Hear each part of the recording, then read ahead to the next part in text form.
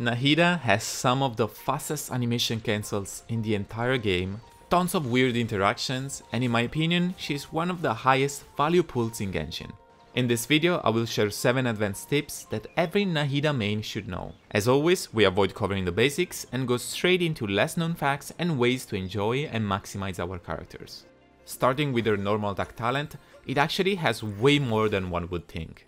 All 4 of her normal strings, but especially her charger attack, can instantly be cancelled by a switch, which makes you able to be very flexible when unfielding her. If you don't mean to switch, the charge attack can also be cancelled by dashing or jumping extremely early. These combos also mesh up quite well between normals and her skill and burst. Additionally, it's possible to improve the wind up of her charge attack by performing any normal attack just before it, and that's how you would generally, if ever, use her charged.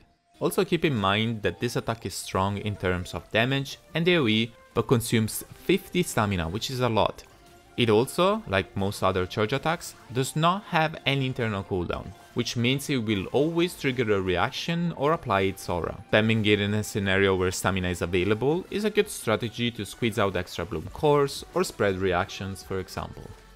Your go-to attack combos can be N1C for a quick double Dendro application, and 2C for prolonged on-field times instead but it honestly won't make a big difference and without a shield, using a recharge attack often is generally not advised.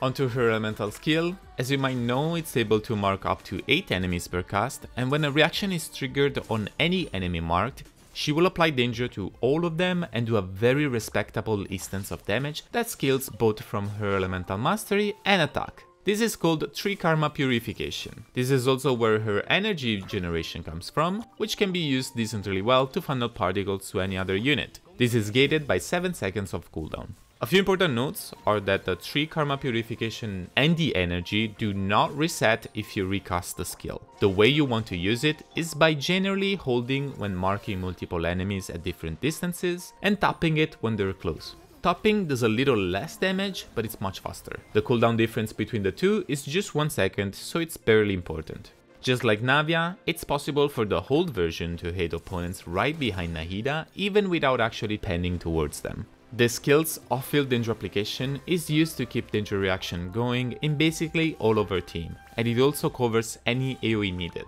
It's less potent if you are about to face multiple waves of enemies, as you would need to tag every new wave. But aside from these cases, it basically guarantees Dendro application to everyone, with no energy requirement and while being off-field, which honestly it's her best and most important feature. Any Dendro reaction based team is going to like that. One niche use of this skill is using it to keep a burning aura up, which in turn can be used by cryo units to melt their kit most notably by Ganyu and Wriothesley, but technically by anyone. There is however a timing that has to be respected to make sure we don't consume the entire burning aura and end up applying too much cryo. This team is commonly named Burn Melt. Nahida's skill will trigger by any reaction, even if they have nothing to do with Dendro, so Melt is included. It will apply Dendro at most every 2.5 seconds, which basically means two things. By itself, even without reapplying Pyro, it's technically able to sustain melt reactions for its entire 25 seconds duration, which is way more than you should need. It also means that applying too much cryo, doing it too fast or too slowly, or at inconsistent timings will mess up with the burning aura and potentially make it expire earlier. When we apply an element to enemies, think about it as if it was a stamina bar that continuously gets depleted the more it stays on the opponent. You can react with it and it will consume some or you can replenish it. In Nahida's case, we're doing both to keep it afloat. We're using Cryo to trigger Melt, which consumes the burning aura, but it also triggers her skill, which replenishes it. For something more practical, if you don't want to get into playing exact timings and be more free with your rotations, it's very advised to use a formal of off-field pyro application, that even if not very strong, will make sure to replenish the burning aura continuously for you to melt away. A strong team that uses this is Wriothesley, Bennett, Nahida and Thoma, which has such a good synergy between all 4 units. If you're looking for any info on that team, check the description links, we already talked about it on this channel. Nahida is absolutely not a must for a melt team however, but she synergizes well enough, especially thanks to being a possible Thrilling Tales holder and buffing the Cryo unit's Elemental Mastery. And since we looked at elements and auras just now, let's talk about one problem Nahida can face when playing some of her teams. And in particular, one of my favorite teams which is so fun to play and is able to squeeze insane amounts of damage. And I'm talking about aggravate teams that try to have both Nahida and Anemo. Emphasis on try. The problem with these teams and Nahida is that her Tri-Karma Purification applies quite a bit of Dendro, 1.5 units and quite often which makes it hard for the Anemo character to swirl Electro consistently. This can be fixed in two ways, either swirling before using Nahida, which still leaves you with a problem on the second rotation, or the second way that also fixes multiple rotations by making sure to apply more Electro right before using an Anemo. I will be honest and say that this is one of the rare teams where going for more manageable Dendro application, like most of the Dendro healers and shielders, is probably better, but Nahida can technically offer the most damage in a very ideal scenario. So here's an example for my Keqing team. I will infuse and swirl Electro before going into Nahida, and then again at the end of the rotation, just after Keqing's on-field time, and that's where I'm applying the most Electro. We swirl again there, and restart the rotation. Now, time to answer the eternal question for Nahida's builds. Do I go Dendro Damage and Crit, or Elemental Mastery? To make it easy to understand, we will consider three scenarios. Scenario number 1. You off-field Nahida, and the character that is on-field wants Elemental Mastery. Since she shares 25% of her elemental mastery, up to 250, to the character who is under her burst, the elemental mastery build can be a priority and reaching 1000 or close to it is nice. Scenario number 2. You off-field Nahida still, but don't cast her burst or don't care about the elemental mastery of your own field character. Thanks to the other Ascension passive, elemental mastery will still perform very well, but the difference to damage and crit is smaller. This is also because her skill scales quite a bit better from Elemental Mastery than attack. No need to go beyond 1000 Elemental Mastery here as well. Scenario number 3. On Fielding Nahida.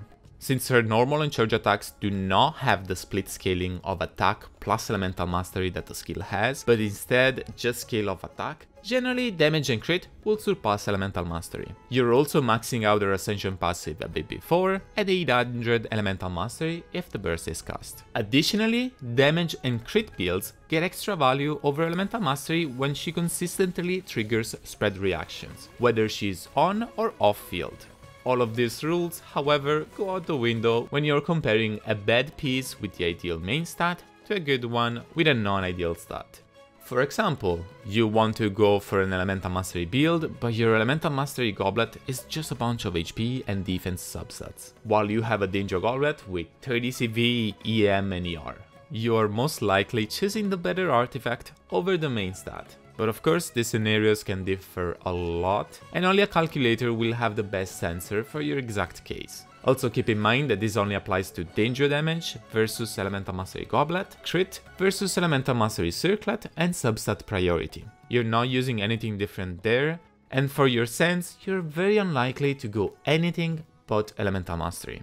Attack or energy recharge are basically never worth it unless you're low AR and have nothing else.